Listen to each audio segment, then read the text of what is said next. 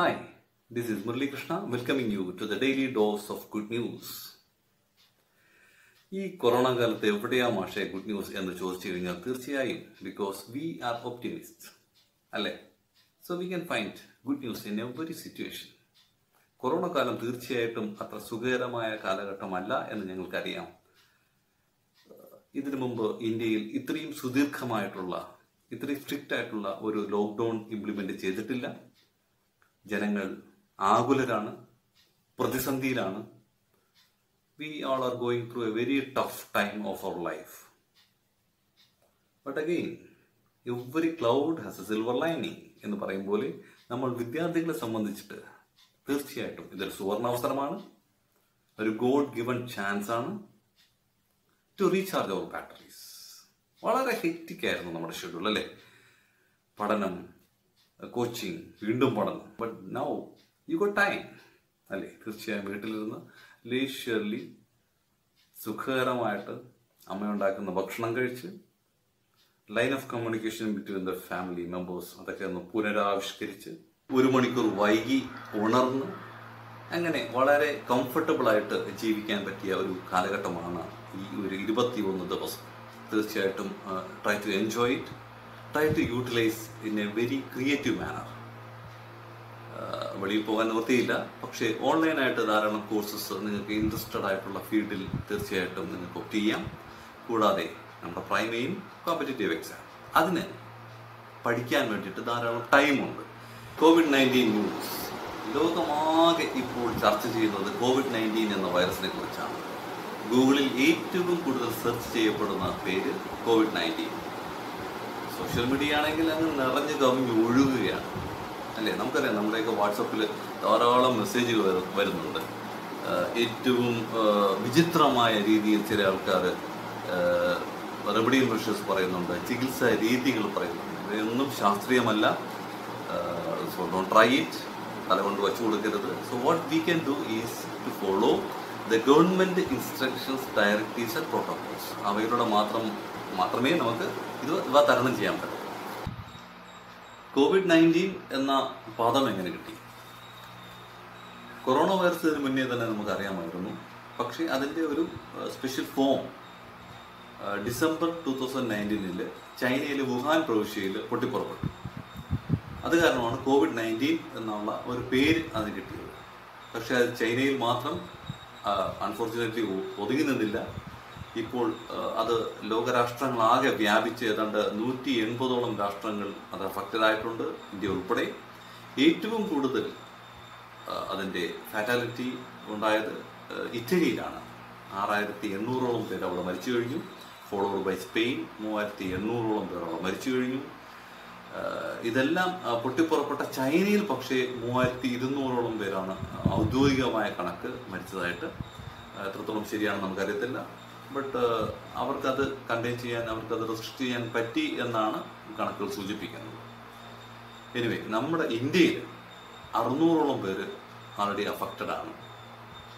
അപ്പോൾ നിങ്ങൾ ചോദിക്കാം ഒരു നൂറ്റി മുപ്പത്തിരണ്ട് കോടിയോളം ജനങ്ങളുള്ള ഇന്ത്യയിൽ ഏതാണ്ട് അറുന്നൂറ് പേർക്ക് വരുന്ന ഈ അസുഖം അത്രത്തോളം സീരിയസ് ആയിട്ട് എടുക്കണമോ? തീർച്ചയായിട്ടും. കാരണം ഈ അറുന്നൂറ് പേര് ആറായിരമാകാൻ ആറ് ലക്ഷമാകാൻ അറുപത് ലക്ഷമാകാൻ അധികം സമയം വേണ്ട. കാരണം അതാണ് നമ്മൾ കണ്ടത് ഇറ്റലിയിൽ കണ്ടത് മറ്റു രാഷ്ട്രങ്ങളിലെല്ലാം കണ്ടത് അതാണ്. വളരെ പെട്ടെന്നാണ് ഇത് സ്പ്രെഡ് ആകുന്നത്. സ്പെഷ്യലി നമ്മുടെ ഇന്ത്യ പോലുള്ള തിക്ലി ഡെൻസ്ലി പോപ്പുലേറ്റഡ് നാനൂറ്റി അൻപതോളം പേരാണ് പെർ സ്ക്വയർ കിലോമീറ്ററിൽ ഇന്ത്യയിലുള്ളത്. അതിപ്പോൾ കേരളത്തിൽ വന്നു കഴിഞ്ഞാൽ ഇറ്റ് വിൽ ബി മോർ കാരണം much more densed densely populated state അപ്പോൾ വളരെയധികം കെയർഫുൾ ആയിരിക്കേണ്ട ഒരു കാലമാണിത്. സ്പെഷ്യലി നമ്മുടെ ഈ ഇന്ത്യയിൽ പറയുമ്പോൾ എൺപത്തി അഞ്ച് മുതൽ തൊണ്ണൂറോളം പെർസെന്റേജ് ആൾക്കാർ ഇൻഫോർമൽ സെക്ടറിലാണ് ജോലി ചെയ്യുന്നത്. അവർക്ക് പെയ്ഡ് ഇല്ല ഇൻഷുറൻസ് ഇല്ല സിക്ക് ലീവ് ഇല്ല. അപ്പോൾ അവരൊക്കെയാണ് ഏറ്റവും കൂടുതൽ അഫക്റ്റഡ് ആകാൻ പോകുന്നത്. എനിവേ സ്റ്റേറ്റ് ഗവൺമെന്റും കേന്ദ്ര ഗവൺമെന്റും ധാരാളം ആനുകൂല്യങ്ങൾ പ്രഖ്യാപിച്ചിട്ടുണ്ട്. ഇപ്പോൾ നമ്മൾ കടന്നു പോകുന്ന ഇരുപത്തൊന്ന് ദിവസത്തെ ലോക്ക്ഡൗൺ എങ്ങനെയാണ് ഈ ഇരുപത്തൊന്ന് ദിവസം എന്ന് ആ സ്പെസിഫിക് ആയിട്ട് പറയാൻ കഴിയുന്നത്? കാരണം the estimated incubation period of this virus is fourteen days അതായത് ഈ വൈറസ് ഒരു മനുഷ്യ ശരീരത്തിൽ കടന്നു കഴിഞ്ഞാൽ അത് പെറ്റുവരികയും ആ ഒരു രോഗലക്ഷണങ്ങൾ പുറത്ത് കാണിക്കാൻ എടുക്കുന്ന ടൈമാണ് ഫോർട്ടീൻ ഡേയ്സ് പതിനാല് ദിവസം. അത് കഴിഞ്ഞ് ഒരു റെസിഡ്യൽ ഇൻഫെക്ഷന് വേണ്ടിയിട്ട് ഒരു സെവൻ ഡേയ്സ് ഒരു ബഫറിങ് ആയിട്ട് അതും കൂടെ നമ്മൾ ക്വാറന്റീൻ ആയിട്ട് ഇരുന്ന് കഴിഞ്ഞാൽ ഇത് മറ്റൊരാളിലേക്ക് പകരത്തില്ല. അപ്പോൾ വളരെ സീരിയസ് ആയിട്ടാണ് കാര്യങ്ങൾ ലോകം എടുത്തിരിക്കുന്നത് നമുക്ക് ചെയ്യാൻ പറ്റുന്നത് ട്രേസ് ടെസ്റ്റ് ആൻഡ് ട്രീറ്റ് മൂന്ന് ടി ആണ്. ട്രേസ് ടെസ്റ്റ് ആൻഡ് ട്രീറ്റ് അതാണ് ലോകരാഷ്ട്രങ്ങൾ ഫോളോ ചെയ്യുന്ന മെത്തേഡ് കോവിഡ് നയന്റീൻ എന്നുള്ള ശത്രുവിനെ ഉന്മൂലനം ചെയ്യാൻ. സ്പോർട്സിൽ Tokyo two thousand twenty Olympics already മാറ്റിവെച്ചു കഴിഞ്ഞു ഈ ജൂലൈ ആഗസ്റ്റിൽ നടക്കേണ്ടതാണ്. International Olympic Committee I O C ഒരു തീരുമാനം എടുത്തു കഴിഞ്ഞു. അടുത്ത സമ്മറിലേക്ക് അതായത് ടൂ തൗസൻഡ് ട്വന്റി വണ്ണിൽ ടോക്കിയോ ഒളിമ്പിക്സ് നടക്കും. ഫ്രഞ്ച് ഓപ്പൺ ടെന്നീസ് ഈ മെയ്യിൽ നടക്കേണ്ടതായിരുന്നു. അത് reschedule to September two thousand twenty ആണ് അത് നടക്കുമോ എന്ന് അറിയത്തില്ല but as of now it is postpone ഇനി വിംബിൾട്ടൺ അതായത് ഗ്രാൻഡ് സ്ലാമിലെ ഏക ഗ്രാസ് കോർട്ട് ചാമ്പ്യൻഷിപ്പായ വിംബിൾട്ടൺ അത് ഓർഗനൈസ് ചെയ്യുന്നത് ഓൾ ഇംഗ്ലണ്ട് ക്ലബ്ബാണ്. അവർ അടുത്ത ആഴ്ച മീറ്റ് ചെയ്യുന്നുണ്ട്. അപ്പോൾ ഒരു തീരുമാനമെടുക്കും. മോസ്റ്റ് പ്രോബ്ലി അത് ക്യാൻസൽ ആകാനാണ് സാധ്യത എന്നാണ് കേൾക്കുന്നത്. അപ്പോൾ ഈ മൂന്ന് കാര്യങ്ങളാണ് നമ്മൾ എക്സാം പോയിന്റ് ഓഫ് വ്യൂവിൽ അറിഞ്ഞിരിക്കേണ്ടത്. കൊറോണയുമായി ബന്ധപ്പെട്ട് ധാരാളം അബ്രിവേഷൻസ് വരുന്നുണ്ട്. അപ്പോൾ അതും കെയർഫുൾ ആയിട്ട് നോട്ട് ചെയ്യുക. I C M R Indian council of medical research N I V national institute of virology N C B S national centre for biological sciences R G C B Rajiv Gandhi centre for biotechnology ട്രിവാൻഡ്രത്താണ് N D M A national disaster management authority then DBT and DCT. DBT stands for Direct Benefit Transfer and DCT stands for Direct cash transfer central ഗവൺമെന്റിന്റെയും state ഗവൺമെന്റിന്റെയും corona സംബന്ധിച്ച് ഉള്ള ആനുകൂല്യങ്ങൾ ജനങ്ങളിൽ എത്തിക്കുന്ന സംവിധാനമാണ് E C I Election Commission of India ഈ കോവിഡിന്റെ സമയത്ത് ഇലക്ഷൻ കമ്മീഷൻ എങ്ങനെയാണ് വന്നത്? കാര്യം ഇതാണ് ഈ ക്വാറന്റൈൻ ഒക്കെ വിധിക്കപ്പെട്ട ആൾക്കാർ പലരും ഹോസ്പിറ്റലിൽ നിന്നും വീടുകളിൽ നിന്നൊക്കെ ചാടിപ്പോയിട്ടുണ്ട്. അപ്പോൾ അവരെ പിടിക്കാൻ വേണ്ടിയിട്ട് അല്ലെങ്കിൽ അവരെ ഡിസ്റ്റിങ്വിഷ് ചെയ്യാൻ വേണ്ടിയിട്ട് അവരുടെ കൈത്തണ്ടയിൽ ഇവിടെ ഒരു ഇങ്ക് കൊണ്ട് മാർക്ക് ചെയ്യും. ആ ഇങ്ക് ഇന്റലിജിബിൾ ഇങ്കാണ് നമ്മൾ വോട്ടിംഗ് എല്ലാം കഴിഞ്ഞ് മടങ്ങി വരുമ്പോൾ നമ്മുടെ ഫിംഗർ ടിപ്പിൽ ഉപയോഗിക്കുന്ന അതേ ഇങ്ക് തന്നെയാണ് ഇവിടെ ഉപയോഗിച്ചത്. അത് Election Commission of India permit ചെയ്തു എന്നുള്ളതാണ് വാർത്ത. വാർത്തയുടെ പൂർണരൂപം ഇങ്ങനെയാണ്. E C I has taken suo motu decision to permit intelligible ink to mark the quarantine ഇതിലൊരു വീട് വന്നു. Suo motu S U A M O T O suo motu എന്നാണ് എന്റെ പ്രൊണൗൺസിയേഷൻ കാര്യം ഇതാണ്.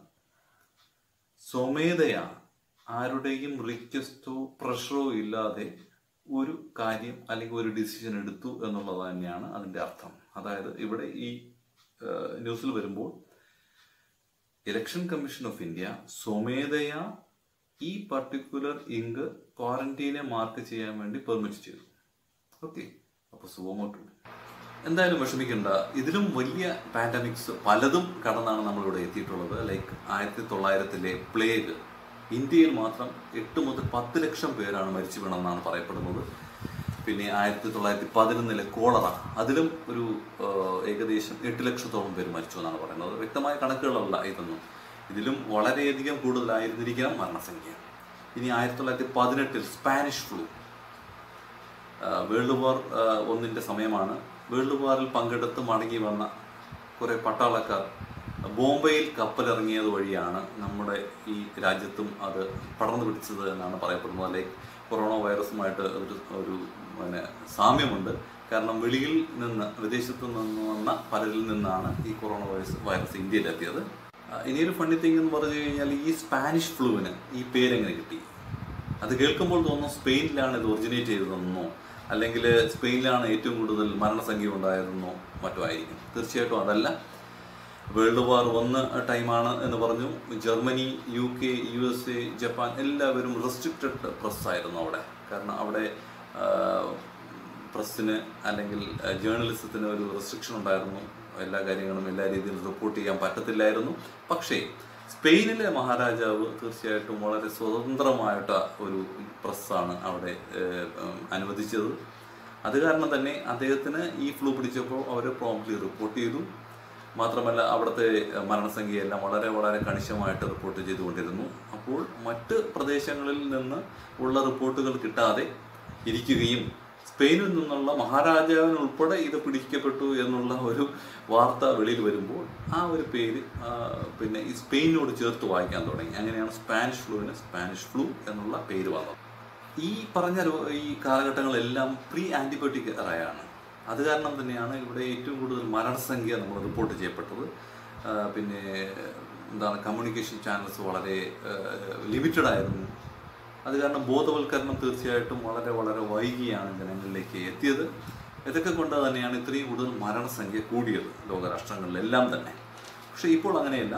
നമ്മുടെ എല്ലാം ജീവിതത്തിലെ വളരെ പ്രധാനപ്പെട്ട ഒരു ഘട്ടത്തിലൂടെയാണ് നമ്മൾ കടന്നു പോകുന്നത് ഹിസ്റ്റോറിക്കലി ഈ ഒരു period be remembered forever കാരണം there going to be a lot of change after this C corona virus pandemic എന്തായാലും അധികം വിഷമിക്കേണ്ട. ഹോമോസാപ്പിയൻസ് എന്നുള്ള നമ്മൾ മുപ്പതിനായിരം വർഷങ്ങൾ കടന്നിവിടെ എത്തി. നമുക്ക് മുമ്പിൽ എത്രയെത്രയോ വലിയ മമോത്തുകൾ മരിച്ചു മണ്ണടിഞ്ഞു. പക്ഷേ നമ്മൾ പിടിച്ചു നിന്നു.